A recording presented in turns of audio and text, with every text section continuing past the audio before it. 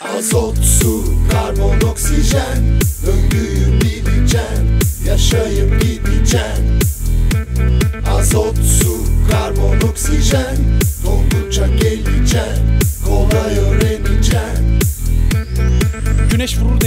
denize buharlaşıp uçar su Soğuk havayı görünce yoğuşmadır konusu. Bulutlar suyu taşır yağış olur düşer. Su yüksek kesimlerde donma erime mevzusu. Solunum ve terleme hatta buharlaşma bile Etkilidir su döngüsünde. Su verilir atmosfere Sıra karbon döngüsünde. Atmosferde çevrilir Bitkiler fotosentezle karbondioksit alır verir. Solunum fosilleşme yanma Atmosfere verir. CO2 Ağaçları kesersek Nefes kalmaz tabii ki Üreticiler oksijen üretir Fotosentezde atmosfere verir. Solunum ve yanma ise Oksijeni tüketir.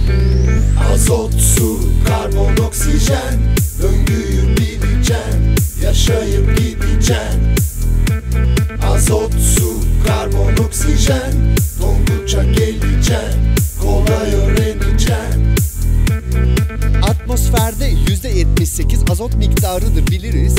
Proteinin yapısında bolca azot gazı gözlemleriz. Peki hocam kas yapmak için azot gazını nasıl yeriz? Şimşek çakar yıldırım düşer azot toprağa geçer Azot bağlayıcı bakteriler azotlu bileşik üretirler Azotlu bileşikler bitkiye geçer kökleri sayesinde Sonra besin zinciriyle indiririz mideye Boşaltım ya da ölüm ile Azot toprağa dönünce Çürütülür bakterilerce Azot döner atmosfere Baklagiller azota hasta Protein konusunda usta Biraz gaz yapsalar da Bir numaralar sağlıkta. Azot, su, karbon, oksijen.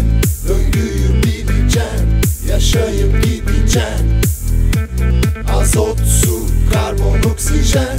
Dondukça geleceksin Kolay öğreneceksin Madde döngülerini bozan bizleriz.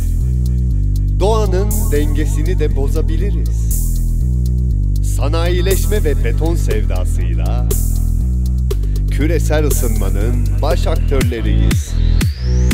Atık sular, orman yangınları, kimyasal gaz salımları, ozon tabakasını korumak için tüm bunlar yasaklanmalı. Sürdürülebilir kalkınma, geleceği planlar, tasarruf ve geri dönüşüm, insan doğa dengesini kurar. Elektrik, su ve gaz Dikkatli kullanacağız Metal, plastik, kağıt, cam Geri dönüşebilir hocam Atık miktarı azalır Enerji tasarrufu sağlanır Geri dönüşüm ile ekonomi bile kalkınır. Azot, su, karbon, oksijen. Döngüyü bileceksin Yaşayıp gideceksin Azot, su, karbon, oksijen